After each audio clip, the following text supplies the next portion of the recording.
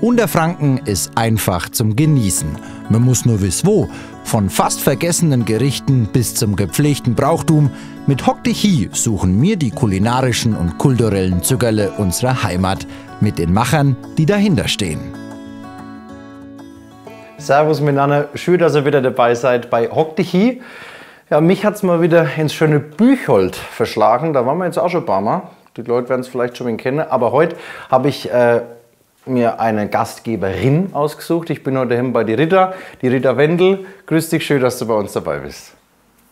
So, Rita, du musst dich heute überhaupt nicht schamen, denn heute äh, gibt es wieder eine Bereicherung für, für alles, was die kulinarische Welt betrifft. Denn du kochst heute äh, für uns, es gibt Wegzimmerte. Ja, Du darfst erst mal erklären, was das eigentlich ist. also Wegzimmerte, das ist aus altes Brot oder aus alte Brötli. Früher ist ja nichts weggeworfen worden, da haben die Leute alles zusammengesammelt. Und dann haben sie das Brot genommen, vor ein paar Tagen zuvor, haben sie ein bisschen eingeweicht in Wasser. Durft's, äh, muss, wenn es hart war, war das schlecht? Ja, nee, nee, das war sogar Na, noch besser, wenn es wenig hart war. Ah, ja. Weil wenn es frisch ist, dann backt es nicht so gut. Ne? Wenn es ein bisschen härter ist, ist es besser. Und dann ja, hat man es ein bisschen einweichen lassen, dann muss es gut ausdrücken, Ja. dass es das feuchtliche Haus ist. Und ja, und dann haben sie es angebacken. Dann kommt es einfach in ein Fett. Ja, in das Fett schön groß rausgebacken, Ja. bis es eine schöne braune Farbe hat. Dauert schon so fünf bis zehn Minuten. Und dann schlägst du so fünf, sechs Eier, schön, schön fein, mit ein bisschen Salz. Und tust es schön drüber schön drüber, und lässt schön Stock. Ja. Und dann ist so sicher alles. Und dann, und dann wisst es dann, das hört sich jetzt erstmal wegen herzhaft an, Ja. aber Salz hast du jetzt noch nichts gesagt. Das Doch, heißt, man kann Prise- dann eine Prise Salz äh, in die Eier gesagt. mit rein, genau. Ja, in die, in die Eier mit rein. und aber isst du süß oder isst du's dann, tust du dann noch Speck oder was mit rein? Nee, Speck passt nicht dazu. Nee. Nee, Speck passt nicht dazu. Was, was esst ihr dazu? Apfelbrei, Also was Süßes. Ne? was Süßes, ja. Wir können auch einen Salat dazu essen, aber mir selber persönlich schmeckt Apfelbrei besser dazu.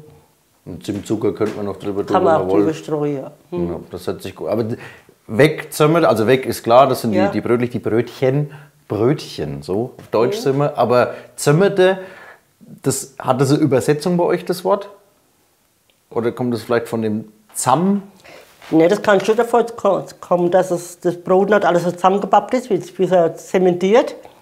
Ja. Ach, von Zement, ja gut, von Zement, Zimmerter, ah, schlecht. Zimmerter, ja. Ah.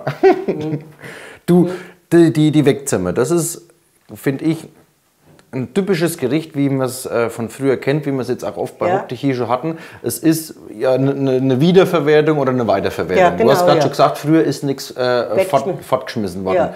Das heißt, wenn man jetzt, früher ist so gekocht worden, man hat wahrscheinlich einen Schrank aufgemacht, hat geguckt, was da war und danach hat man sein Gericht gemacht, Genau, oder? da ist, das da ist nicht in den Laden gegangen, erstens haben die Leute kein Geld gehabt, dass sie nicht Und einen Laden gab es auch nicht großartig. und dass sie jeden Tag eingekauft haben, das hat es da nicht gegeben. Dass immer nur das zusammensucht, von was am Hof war. Ne? Und dann ist auch nicht fortgeschmissen worden. Nee, um Gottes Willen. Beim, beim, beim, beim Schlachter war das auch schon so. Ja, Da ist nicht mal das Schwänzle ist fortgeschmissen worden, das hat man noch einen Lehrer hinten noch das stimmt, ja.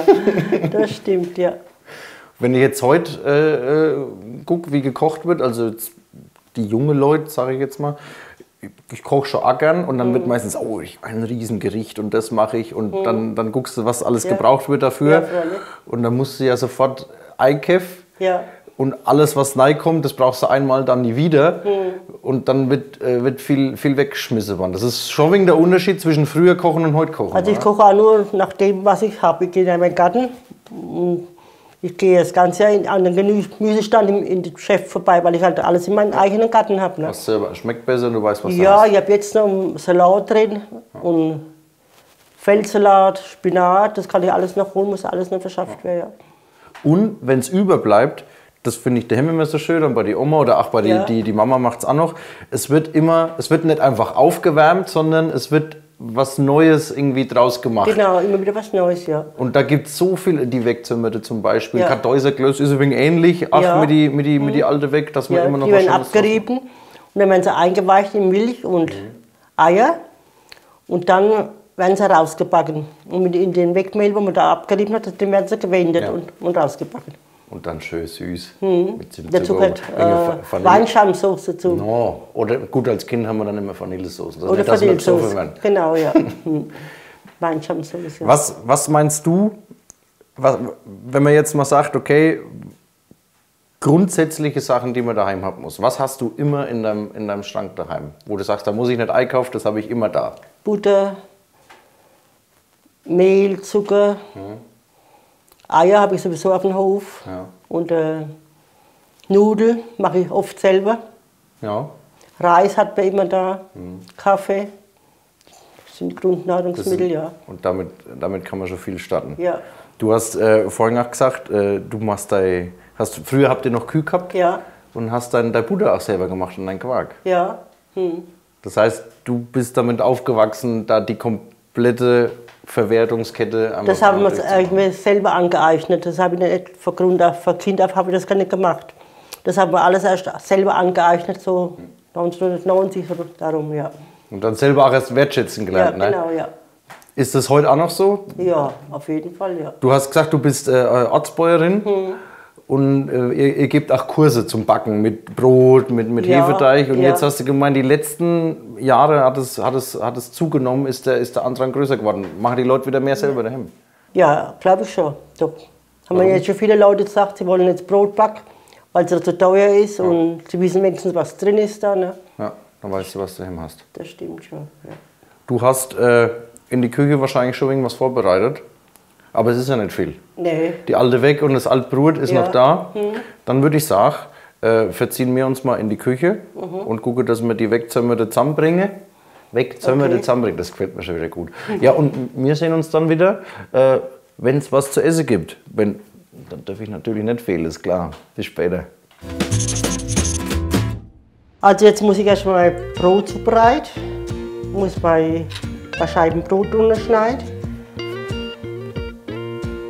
Darf schon ein dicker sein, oder? Ja. Noch die Brötchen dazu. Die Brötchen, die schneide ich mir auch in Scheiben. Da nehme ich jetzt auch zwei dazu noch. Jedenfalls ein schnelles Gericht. Die Leute früher haben ja auch nicht viel Zeit gehabt, haben immer viele Kinder gehabt und so. Da, da hat es immer schnell gemisst. Wie viel Wasser kommt da jetzt rein? Vielleicht ein Viertelliter. Ein Viertelliter. Also es dürfte nicht zu viel sein, Nee. sonst wird alles matschig und Ja. krampfig. Zu viel hat keinen Wert. Ein Viertelliter kann man sagen, ja.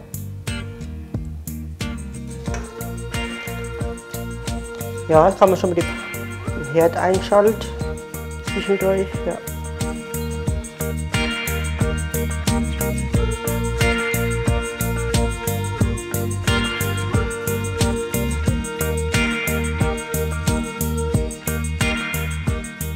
Jetzt tun wir mal die Scheiben Brot nacheinander in die Pfanne reinlegen.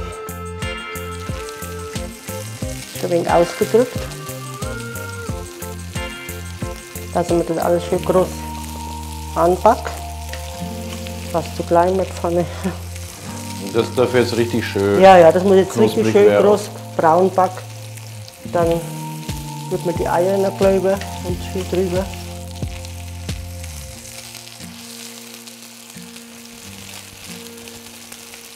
Ja, wir es noch ein wenig backen, wenn man die Eier drüber tut. Dass es ein schön gebacken ist. Tun wir mal eine Weile die Eier vorbereiten. Wir mal ein wenig Salz in die Eier rein. Also jetzt habe ich da die Eier geklöbert mit ein bisschen Salz. Das ist jetzt das, noch, das Highlight noch für den Wegzimmerte. Das schmeckt jetzt erst einmal richtig gut.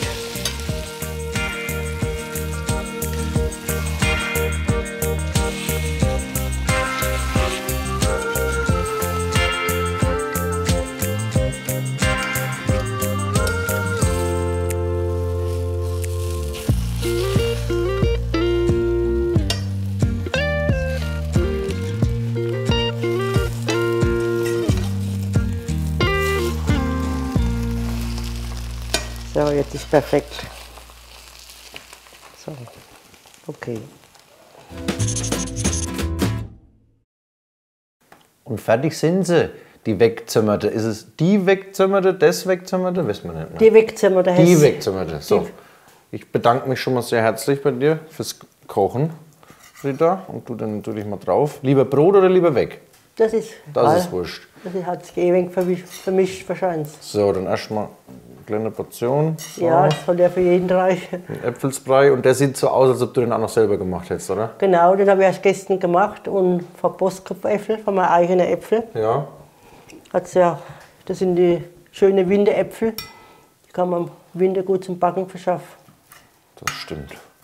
So, da bin ich gespannt. Weil viel ist ja eigentlich nicht droh, ne? Wo die wegzimmerte. Nee, das. Ein Apfelbrei. So. Na da, dann probieren wir mal, was sie können. Oh, ist noch schön. Das Ei ist noch, man sieht das ganz gut.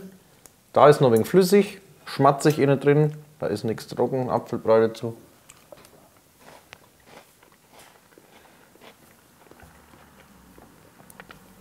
Sag, wie es ist, das ist eine super Geschichte.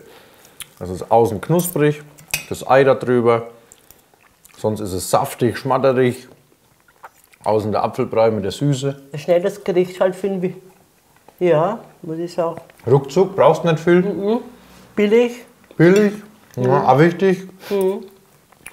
Und man hat was Gutes und hat noch ein gutes Gewissen dabei, Ja. weil man nichts fortgeschmissen hat. Genau. So, in dem Sinne sage ich herzlichen Dank, Rita, dass ich da sein durfte. Ja. Ja, mir ist jetzt noch unser Teller leer. Das geht euch im Grunde nichts mehr an. Deswegen sage ich Dankeschön, dass ihr wieder dabei wart bei Hock. Macht's gut, bis zum nächsten Mal. Hm. Ich muss sagen, die weg sind schon mal hervorragend. Jetzt probiere ich das Brot auch noch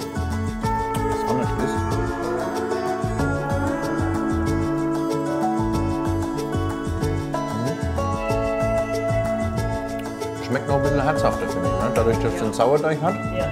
Und wenn man da jetzt noch so, so richtiges. So, so